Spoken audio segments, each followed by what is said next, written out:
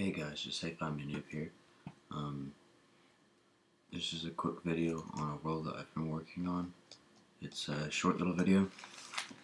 Uh, this is a small world I just made about 15 minutes ago. I built this little, mm, like, Mayan temple. Very easy to make. I'll probably make a tutorial on how to make it for all the people that don't know how to make a temple.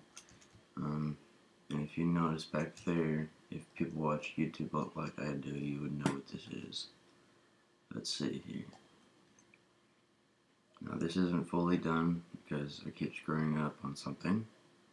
Oh yeah, it's the Nyan Cat. Uh-huh. Oh yeah. So, that's really all. Right over there, I can't really finish up because I need the flying mod. Oh, the single player commands mod, but I do not have that because with the Meldnir mod, it screws it up and messes up the jar, so um, I can't do that. So, that's all. See ya. Bye.